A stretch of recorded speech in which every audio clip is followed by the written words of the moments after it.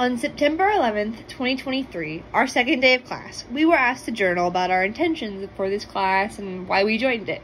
And I wrote, I got to this class because my dad pushed me to try something new. He said it would be a good opportunity, a once in a lifetime opportunity, and told me to just go for it. So with a little push, I applied and got in. Now that I'm here, my intentions are to keep pushing myself so that I can keep finding once in a lifetime opportunities. Every yes creates a new door, and you can only grow by pushing yourself. After all, a fish can only grow as large as its bowl, and I don't want to be in the same bowl forever. Additionally, you only ever regret the things you don't do, so I want to keep an open mind and try everything.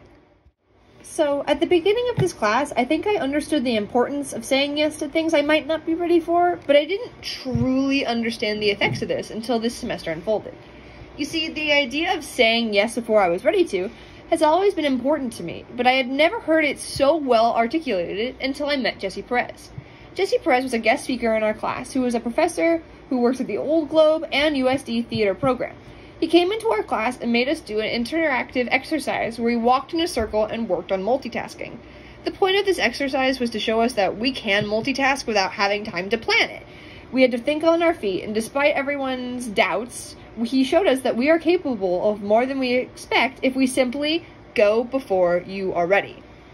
This message resonated deeply with me because it showed me, in a physical way, and not just through words, that I am capable of more than I think. I just need to learn to jump, and the right parachute will find me.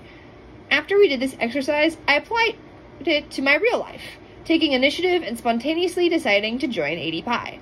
You see, I never expected to join a sorority, but knew I wanted to meet more people. So I had a good friend encourage me to try rushing, and I decided to go for it and joined. Even on bid day, I felt extremely anxious about my decisions, but I put all my anxieties aside and accepted anyway. After all, in my opening reflection, I wrote that you only regret the things you don't do, so I decided to do this and trust that it would turn out the way it was meant to. Months later, all my anxieties are gone, and I love being a part of AD I get to watch the consequences of my spontaneous choice unfold and bring me so much joy. I have met so many wonderful people, gained a new big sister, and some lifelong friends. I found a sense of community that I would never would have forever lost if I didn't jump in and push myself. I'm forever grateful I learned to go before I'm ready because it led me to these amazing people. Now, not only does the lesson of go before you are ready apply and strengthen my personal life, but it has also helped build my leadership style.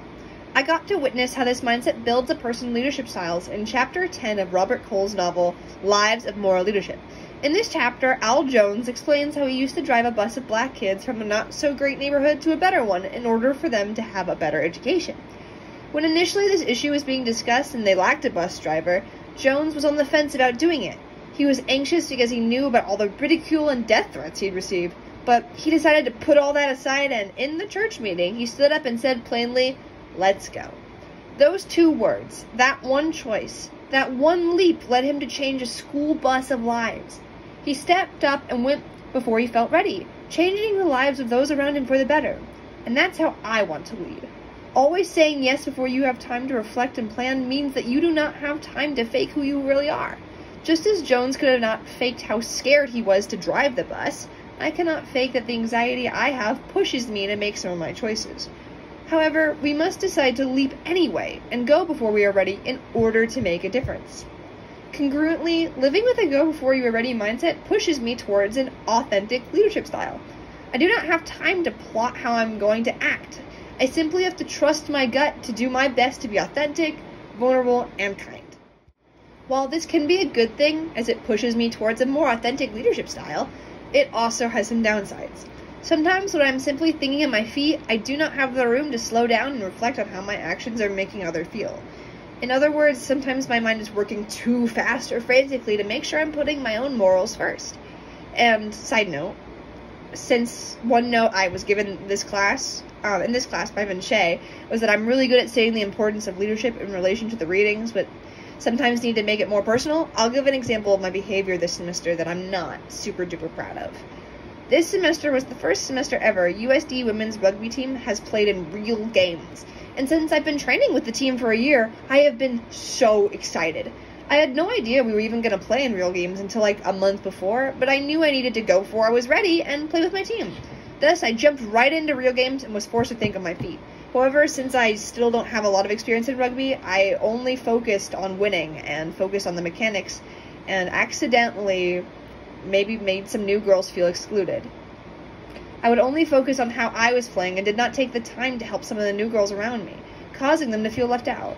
I remember specifically one of the new freshmen asking me for tackling advice on their form, and I said that I didn't have time to help her because I was too busy on my own game. And the next game, she got hurt, and I felt like it was entirely my fault. Thus, while I still think it's important to go before you are ready, I need to learn how to jump into new things while still putting my value first. I can't simply jump into new opportunities blindly. I must constantly be checking in on myself and making sure my actions are portraying my core values correctly. I always want to create an inclusive and kind environment, and thinking on my feet should never stop that. As I continue rugby and step up into the media leadership role in my sorority next semester, I will continue to use the lessons from this class and jump on new opportunities presented to me. I mean, that's the main takeaway I have from this semester. Of course, I'm going to use that lesson.